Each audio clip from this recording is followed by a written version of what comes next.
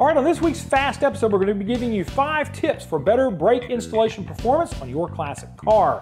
And do yourself a favor and keep an eye out for this here tent card. This Whataburger tent card is your key to a BF Goodrich t-shirt. Now, the way you get the t-shirt is this. When the episode actually starts, You'll go in and you'll write down the timestamp, send it into this email address below, and then before Monday the 19th, we will pick a winner from all the ones that we get in, and that winner will receive the t-shirt. So do yourself a favor and watch out for the Whataburger tent card. Brought to you by Eaton Detroit Spring, proudly made in the USA. Also brought to you by BF Goodrich Tires, who asks, Are you driver enough? Right now on Auto Restomod, we give you five tech tips on how to have the best brake performance in the business. National Parts Depot is proud to offer this exclusive reproduction of the 1970 to 78 Camaro dash pad. Get one for your car and improve your ride. Check out National Parts Depot for Mustang and Cougar, Camaro and Firebird, Chevelle and GTO, Ford Truck and Bronco, Chevy Truck, Mopar, and Thunderbird. At our four locations, we stock the largest selection of classic car parts anywhere. Visit us at nationalpartsdepot.com or call us at 888-893-FAST. I know my socks are wrong. Don't don't question it. Just accept it. So where is it? Dark where you were at when you were putting those on this morning? I was tired. You were playing Battlefield 1 again, weren't you? So like three or four or five? Five, yeah. Xbox One. It's like cracked for you. Mm-hmm. It's cheaper. Well, anyway, uh, what we got going on this week is I'm going to talk to the guys a little bit about brake stuff. Real quick episode. We got some other stuff that we need to take care of that's of a personal nature today. Got some family stuff going on that I got to deal with. So we're going to do a fast episode, and then uh, next week hopefully we'll hop back on this and actually do the install of the drum brakes on the 69 wagon. But for right now, I'm going to do some tips and tricks on things to do when you're working with brakes uh, to make your braking application work a little bit better. So I guess I'll get started on that right now. So we're going from Breaking Bad to Breaking Good? I am going to hit you in the nose. Heisenberg, no. All right, our first tip of the show is Keep it clean, cuz.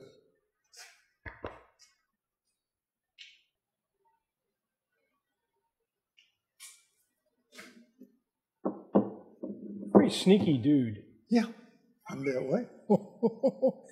So what's that all about? That's to keep it clean. Keep your. Oh, that kind of keep it clean. Yeah. Worried a little bit. Okay, so what do you do with it? Uh, when you put your gloves on, you got. You don't have gloves. There you go. When you put your gloves on, Right. Just give it a little spritz. No, no, no, no, no, not that spritz. Oh, That well, that's inside. That's inside anyway. Spray a little of this on there. Okay, Okay. and then, well, I mean, it's going to be all drippy and stuff after I do go. that. And so you wipe them off, wipe your gloves off. Right. That way you make sure you don't contaminate the drums. No grease at all. Hand oily stuff. So you want to keep the grease off of any of the inside working parts of this. Right. On the Especially drums. the contact surfaces. All right, now another thing I want to talk about on this too is, is when you're doing this, these brake drums come in from the manufacturers, usually in a Cosmoline coat. A lot of times it's both inside and outside of the brake drum. So what you want to do is just spray this thing down completely. You spray them all the way down with your brake clean. That way you're not going to have a chance of going in and actually damaging it. You can look at my glove right now. This is just from the outside. You can see the shiny stuff on the glove. That's grease. And you need to get all of that off before you start working on the brakes. Otherwise, you're going to have problems with the shoes or the pads not operating at optimum. Also, uh, if you've got a spot of grease or some grease, oily substance in there, could cause it to grab. In other words, when you when when you do a panic stop, that wheel will lock. Okay, wow. All been, right. there, been there, done that. You've been doing drum brakes for how long? Don't ask. What I like to do is to actually go in and put a cast coat on the outside on the drum. You can get high temp cast coat now, and that will keep these from rusting on the outside. All right, folks, so that's our first tip is to keep it clean. And that pretty much goes for, quite frankly, anything you Anything. Right. accept your thoughts, and I mean, you know, whatever. Yeah. All right. I'm going to pull these off for right now because I really don't need them for what I'm doing here. What I want to talk to you about is same, same.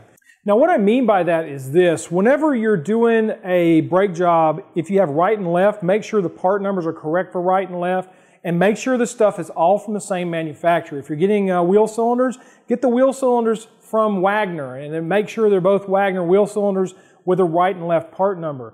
Drums should be from the same manufacturer if at all possible. Same thing with your shoes. Though most of the time, brake shoes come as a match set. You get right and left, which tells you when you're doing this that most of the time the manufacturers want you to use all new components throughout on both sides, or at least components that are within the same wear. Um, when you get your parts in, do yourself another favor and go ahead and trial fit this stuff inside the drums to make sure you have the correct parts. It's getting to a point now with the classic cars that some of this stuff is not quite as obvious in the parts catalogs as you might would think. Some of the places are really good about it, some not so good. But if you'll take these and put them inside here, you can look at it and make sure that the shoe size is the correct size for your car. Another quick tip on that point is always order your stuff prior to doing anything. Don't take the car apart until you have all the parts that you're going to want to do on the car. And what I'm going to do is I'm going to pull all this stuff out of here and Cam's going to come in and talk to you about some of the cool tools you can use when you're doing a brake job on a drum brake car. So many things. I can't get them all. All right, now I've got the proper tools for doing a brake job on drum brakes. I have a screwdriver and a brake spoon for adjusting the brakes. I have the cap remover tool for taking the pins out of the brake shoes, and I have a spring remover tool. Now you can get these pretty cheap at Harbor Freight. I believe the whole set of these three items is like maybe 10 bucks. It is well worth the money than using a vice grip, having a spring come off, hit you in the finger. It's not fun. Get the tools. It makes the job so much easier. Jeff, get back in here. All right, so brake lines. Another thing that you want to look at when you're doing your brakes on these classic cars. If you got a car that's over 30 years old and you got the original brake lines in there, there is absolutely no telling what may be inside of those brake lines. They are not stainless, and what I would recommend doing is going to something like Classic Tubes stainless line that they have. They're a little more expensive than a full set of brake lines in OE steel. It looks really good in the car. That's a recommendation from me. It's a little bit more money to go ahead and replace all the brake lines, but so what? You're talking about the safety of the car. This way you'll know that all of your brake lines are fresh. The one thing I will say that's a little bit problematic about stainless, and that is this. Because it's not a mild steel, a lot of times your flares won't necessarily seat as well on a stainless, and you need to be mindful of drips and leaks whenever you first start working with these. So uh, when you tighten everything up, make sure you get it nice and tight, and then do a brake test with it and look at all your fittings and check your fittings for any amount of fluid dripping out on the underside of that. You may have to put a little bit more torque on it than you might would, say, with a standard OE style steel. But that's the little tip for that. Now Cam's going to come in and talk to you a little bit about some reading material. All right, now my tip is to get an actual factory service manual.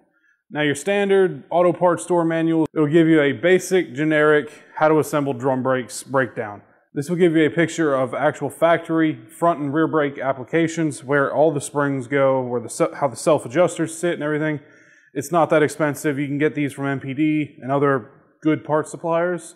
I highly recommend getting a factory service manual. It makes this life so much easier. Or if you have a smartphone, snap a picture of it before you take it apart. That is the nice thing about 2016. Smartphones are everywhere. So basically next week we're going to be coming back with the brakes.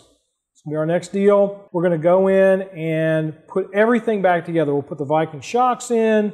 We're going to go ahead and get the axle put in there and show the guys the new springs. Uh, we're going with a 160 pound heavy duty spring rather than, they have one that is a, uh, a racing type spring, uh, the EPS spring that they sell through Eaton Detroit. Not going to go quite that level. It's a 205 pound. And I feel like for what we're doing here, if we've got the Viking shocks with the double adjustable. Yeah. And we're really not going to be racing this thing. Maybe. Maybe. Maybe not. So anyway, folks, that's what we're going to be coming back to you with next time. Do us a favor, though, and come back and watch us next week on Auto Resto Mod. Have a great week.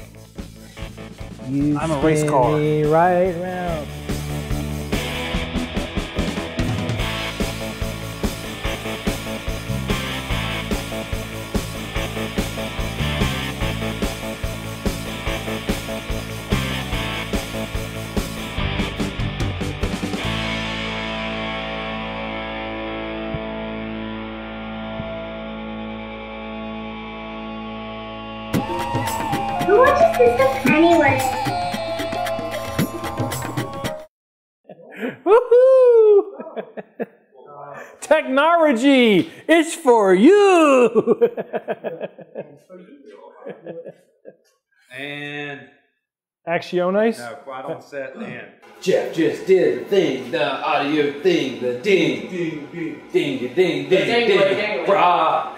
Rappers you are not!